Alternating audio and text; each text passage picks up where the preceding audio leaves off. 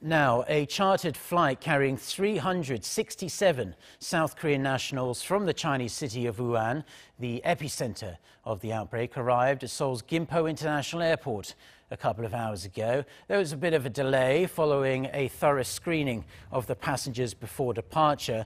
They are subject to another quarantine check before being transferred to two government facilities where they will stay for at least 14 days. During this time, they will be barred from leaving the premises or being visited by guests. They'll also get health checks twice each day and will be transferred to medical centres if they show any symptoms or have a fever. As for the 350 South Korean nationals still in Wuhan, Seoul's foreign ministry says it's in close consultations with the Chinese government to arrange another flight as soon as possible.